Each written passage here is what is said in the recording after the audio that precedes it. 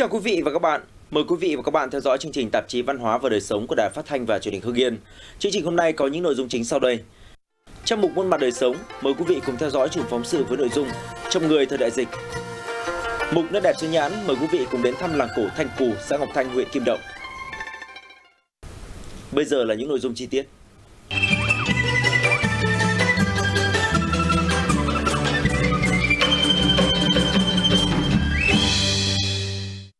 Sinh thời, Thủ tướng Phạm Văn Đồng từng nói, nghề dạy học là nghề cao quý nhất trong những nghề cao quý. Nó càng trở nên đặc biệt hơn khi năm học này, các thầy cô giáo đều phải làm quen với phương thức truyền đạt kiến thức mới. Và sau đây, mời quý vị hãy cùng đến với những lớp học của một năm học đặc biệt, năm học trong đại dịch Covid-19 tại huyện Văn Giang. Trước tiên, đó sẽ là lớp học dành cho học sinh lớp 1.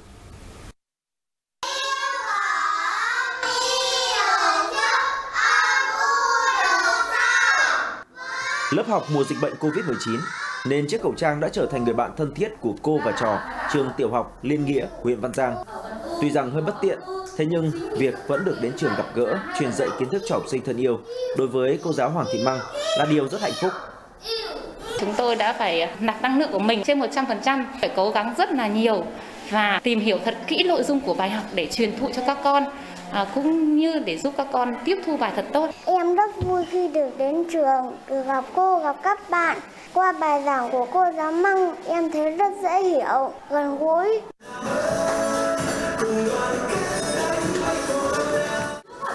Để thích ứng trong mùa dịch, không chỉ vừa dạy trực tiếp, vừa dạy online, mà những thầy cô giáo còn luôn sáng tạo trong phương pháp dạy. Và việc cho học sinh vận động những động tác đơn giản như thế này trước mỗi tiết học chính là một trong những đổi mới đó. Em tiến bộ rất là nhanh bởi vì là chúng tôi thực hiện giãn cách chia đôi lớp học nên là cái sự kèm cặp giữa cô và trò mặc dù là có sự vất vả thế nhưng mà các bạn ấy được quan tâm nhiều hơn, sát sao hơn. Chúng tôi đã chỉ đạo giáo viên là tận dụng cái tối đa cái thời gian vàng mà các con được đến trường để dạy dỗ cho các cháu. Năm học đặc biệt 2021-2022 của trên 2.200 học sinh lớp 1 trên địa bàn huyện Văn Giang và những nỗ lực tâm huyết của đội ngũ thầy cô giáo trong một năm học vất vả đã được phụ huynh học sinh thấu hiểu, sẻ chia. Mặc dù là trong cái hoàn cảnh khó khăn như vậy nhưng mà nhà trường, các cô và các con đã rất là nỗ lực và cái kết quả là phụ huynh rất là mừng thấy rằng là các con đã tiến bộ rất là rõ rệt và rất là nhanh đấy ạ. Bụi phấn vốn là một hình ảnh quen thuộc tượng trưng cho nghề giáo từ bao năm nay. Còn năm học này thì hình ảnh ấy đã được thay thế bằng những lớp học online, khó khăn, vất vả, nhưng những người thầy, người cô vẫn luôn cẩn mẫn để mang đến con chữ cho học sinh thân yêu.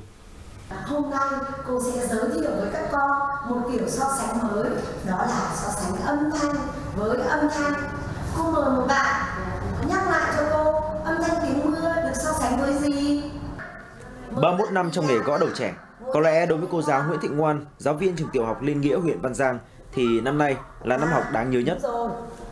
Đại dịch Covid-19 đã khiến giáo viên chúng tôi gặp khó khăn khi dạy giảng dạy trực tuyến, nhất là đối với những người giáo viên có tuổi như chúng tôi. Tuy nhiên là uh, nhờ sự uh, giúp đỡ của các đồng nghiệp nên tôi đã có thể sử dụng được cái phần mềm dạy học. Và với cô giáo Nguyễn Thị Truyền cũng vậy, thay vì bảng đen phấn trắng thì năm học này chị phải làm quen với việc dạy học qua màn hình máy tính. Học online như thế cho nên khi các em ngồi nâu cũng rất là mệt mỏi. Vậy thì cô phải mất rất nhiều thời gian để đầu tư thiết kế các cái trò chơi hoặc là có những cái hoạt động gây hứng thú cho trẻ. Có thể nói năm học 2021-2022 là một năm học đặc biệt, năm học trong đại dịch với rất nhiều sự khó khăn vất vả. Thế nhưng bằng sự nỗ lực không ngừng đổi mới sáng tạo của các thầy cô giáo, những con chữ vẫn cứ được gieo đi, học sinh tạm ngừng đến trường nhưng không ngừng học. Em cảm thấy rất căng thẳng nhưng được thầy cô xen kẽ những tiết học uh, là um, trò chuyện cùng các bạn và chơi trò chơi vui nhộn khiến chúng em không còn uh, cảm thấy bị áp lực nữa. Tôi cũng rất là yên tâm ạ khi mà các cháu ờ, không được đến trường mà học online ở nhà mà các cháu vẫn đảm bảo được cái kiến thức của các cháu tiếp nhận được ạ. Có thể ai cũng cho rằng khi học online, tình cảm thầy trò sẽ trở nên xa cách hơn. Thế nhưng qua những tiết học ngoại khóa, bằng sự gợi mở khéo léo của thầy cô đã tạo cho học sinh sự thoải mái sẻ chia các vấn đề trong cuộc sống. Đây chính là sợi dây gắn kết tình cảm thầy trò dù chỉ qua màn hình máy tính. Bình thường nhé. Xin chào các bạn. Vậy thì chúng ta tiết học ngày hôm nay chúng ta sẽ được bắt đầu. Tiết học ngoại khóa như thế này thường xuyên được các giáo viên trường trung học cơ sở Chu Mạnh Trinh, huyện Văn Giang duy trì đều đặn hàng tuần. Đó đơn thuần chỉ là những cuộc nói chuyện, sẻ chia, gợi mở cho học sinh thể hiện tâm tư tình cảm của mình về những vấn đề trong học tập cũng như trong cuộc sống thường ngày. Chúng tôi đã được hiểu hơn về hoàn cảnh gia đình của các em này, chúng tôi hiểu hơn về sở thích của các em này và bản thân các em cũng vậy. Và từ đó thì um, tôi thấy rằng là nhiều tình cảm đã được nảy sinh và cũng rất là nhiều học sinh đã tin tưởng cô và tâm sự với cô, thậm chí là những cái điều thầm kín của các em. Tiết sinh hoạt của cô chủ nhiệm là rất quan trọng, cô sẽ nắm bắt toàn bộ. Ngoài cái việc học chính khóa vẫn được sáng tạo, vẫn được tham gia các cái hoạt động trải nghiệm. Những cái hoạt động này thì rất là ý nghĩa để gắn kết tình cảm giữa cô và trò và tạo ra cái niềm vui trong cái mùa dịch cho cả cô lẫn trò. Không chỉ học sinh được thoải mái trò chuyện với thầy cô, bạn bè, mà những tiết học này cũng là cơ hội để phụ huynh học sinh trực tiếp trao đổi với giáo viên. Từ đó có sự phối hợp chặt chẽ giữa gia đình và nhà trường cùng giáo dục con em tốt hơn.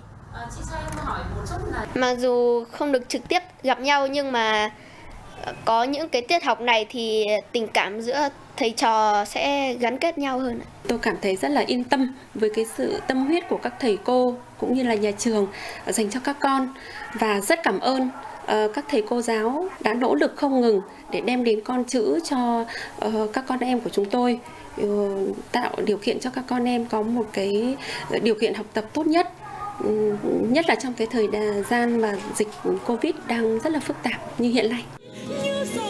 Kỷ niệm Ngày Nhà giáo Việt Nam 20 tháng 11 đã tới gần và đây cũng là cơ hội để học sinh có thể thỏa sức sáng tạo, thể hiện tình cảm của mình dành cho thầy cô qua những vần thơ, điệu nhạc hay những món quà tự làm.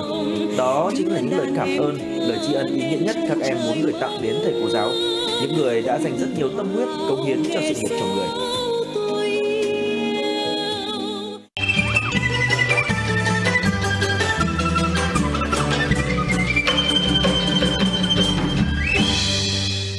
Làng Thanh Cù xã Ngọc Thanh, huyện Kim Động là vùng đất cổ với nhiều dấu ấn lịch sử văn hóa và là một trong những vùng quần cư phát triển liên tục của xứ Nhãn Hưng Yên. Trải qua nhiều thay đổi cùng thời gian, nhưng làng Thanh Cù vẫn giữ trong mình những nét đẹp riêng có, hình thành nên một không gian văn hóa đậm đà bản sắc. Đến làng Thanh Cù, không thể bỏ qua không gian của chợ Thanh Cù, hay còn gọi là chợ gò. Chợ gò xưa kia giao thương buôn bán sầm uất trên bến dưới thuyền, khác hẳn nhiều ngôi làng truyền thống của xứ Nhãn. Năm 2019, chợ được quy hoạch xây dựng hiện đại nhưng vẫn giữ lại những nét cổ kính rêu phong, khiến bất cứ ai ghé chân đến đều cảm thấy bồi hồi, hoài niệm. Ngoài những sản vật nổi tiếng trong vùng, chợ Thanh Cù còn làm nức lòng người mẹ ẩm thực với món cháo cá bả hoa. Cháo này phải bằng làm bằng cá rô ta, nó phải có cái mắm. Làm mắm như thế là để 6 tháng là ra mới nấu được. Bên cạnh chợ là di tích Văn Chỉ, ghi danh những người đỗ đạt của quê hương và một công trình cổ khá to, thoáng nhìn như một kiến trúc đình chùa, nhưng người dân nơi đây gọi là quán vật.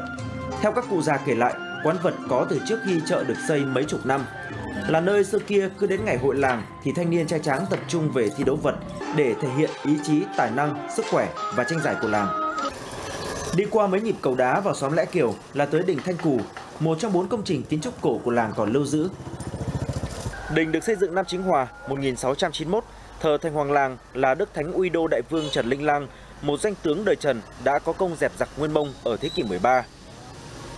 Trong đình còn lưu giữ ba kiệu bắt cống thời Lê, quả trung đồng đúc vào năm tự Đức thứ tư ghi công đức tu bổ đình, cùng 20 đạo sắc phong được các triều vua ban tặng. Mình giữ gì làm sao để cho nó uh, an ninh trật tự là một thứ hai. Nếu hỏng hóc đâu thì trong ban văn hóa thì lại họ về kiểm tra. Về Thanh Cù vào dịp đầu xuân hàng năm, chúng ta còn được hòa mình vào không gian lễ hội trang trọng mà ấm áp, cùng đó là đội trống, đội múa kỳ lân, sư tử, náo nhiệt đông vui. Tất cả đã tạo nên một lễ hội làng quê trang trọng linh thiêng. Chiều mùng 9 là rước thánh lên ở trên lăng mộ và đến sáng mùng 10 là rước thánh về để cho nhân dân ôn lại cái truyền thống lịch sử của làng, khơi dậy cái cội nguồn. Làng Thanh Cù hiện nay có trên 1.000 hộ với gần 3.000 nhân khẩu, cùng với phát triển kinh tế theo định hướng phát triển của tỉnh, mở rộng sản xuất nông nghiệp, tiểu thủ công nghiệp. Người dân làng Thanh Cù vẫn luôn trân trọng gìn giữ nghề truyền thống cha ông để lại, đó là nghề nấu rượu. Trong làng hiện còn khoảng 100 hộ gia đình làm nghề, kế thừa bí quyết nấu rượu của cha ông, đồng thời áp dụng tiến bộ khoa học. Nhiều người dân ở đây đã hiện đại hóa nghề nấu rượu để nâng cao chất lượng rượu làng gò. Chúng tôi nói chung là cũng có áp dụng cái công nghệ và cái cổ truyền của các cụ ngày xưa. Chúng tôi đây thì bán ở địa phương thôi. Thế cho nên là cái uy tín chất lượng nó là hàng đầu. Thanh Cù, ngôi làng mang vẻ đẹp bình dị nên thơ mà thâm trầm. Nơi đây sẽ mãi là niềm tự hào, niềm thương nỗi nhớ của những người con sinh ra trên mảnh đất giàu truyền thống này. Về thăm làng Thanh Cù để tìm lại những ký ức êm đềm nơi làng quê Việt, cảm nhận nét văn hóa mộc mạc mà độc đáo của những người dân nơi vùng đất cổ. Những hình ảnh vừa rồi cũng đã khép lại chương trình tạp chí Văn hóa và Đời sống số này của Đài Phát thanh và Truyền hình Hưng Yên. Cảm ơn quý vị và các bạn đã quan tâm theo dõi. Kính chào tạm biệt và hẹn gặp lại.